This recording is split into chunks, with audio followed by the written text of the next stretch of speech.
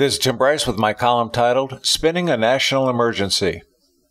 Because the Congress will not fund the Southern Wall, President Trump has no alternative but to declare a national emergency to obtain funding and continue the construction efforts. Speaker of the House Nancy Pelosi claims such action is unprecedented. Senate Minority Chuck Schumer tweeted it would be, quote, a lawless act, a gross abuse of the power of the presidency, end quote. Both are wrong. First of all, the National Emergency Act is legitimate legislation passed in 1976 and empowers the president to activate special powers during a crisis. The first president to issue an emergency proclamation was Woodrow Wilson, a Democrat, back in 1917 to improve maritime tonnage to move resources around the United States and the world. This is back when the world was embroiled in the First World War and our allies required supplies. In recent times, national emergencies have been called by the president numerous times. To date, 58 emergencies have been declared and 31 are still in effect. Here is how many recent presidents have issued. President Trump has issued three, President Obama, 11, President Bush, 13, and President Clinton, 9. Many of these are concerned with blocking the property of people who violate American policy, but it has also been used for imposing sanctions and other situations. Speaker Pelosi made a veiled threat when she said a Democratic president can declare emergencies as well. The reality is, Democrats have already declared emergencies.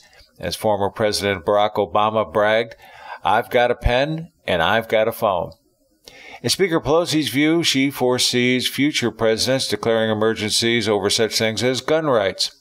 This would inevitably trigger a constitutional crisis, as it would be violating the Second Amendment. This is not the same as in President Trump's case, where he wishes to secure our border. Nonetheless, his emergency will be challenged in court, but he will likely win as he has precedents on his side. So why all the fuss? The Democrats are trying to convince the public the declaration of emergency by President Trump is unlawful and unprecedented in order to build public opinion against the president. The fact is, nothing could be further from the truth. It is simply not so. In order to invoke the emergency, President Trump will have to demonstrate a crisis truly exists. The Democrats claim the problem is being manufactured by the president, but there is plenty of data to show a bona fide problem exists. Both parties are cognizant of this, so why are the Democrats adamantly opposed to it? Simple. Control. There are now over 22 million illegal immigrants in the United States, with more trying to come in every day. Some are honest and hardworking, others are criminals. Either way, the Democrats are endeavoring to grant citizenship to these people, thereby turning them into voters who would presumably support their party, thereby turning the Congress and White House to liberal rule. Let's be clear. The Republicans and the president have no problem with legal migration, as we all should be. But there are other forces at play here trying to undermine our country. Do we have a national emergency? Yes, I believe we do, both at the border and in the halls of Congress. Friends, keep the faith. This is Tim Bryce in Palm Harbor, Florida. Follow me on the internet at timbryce.com.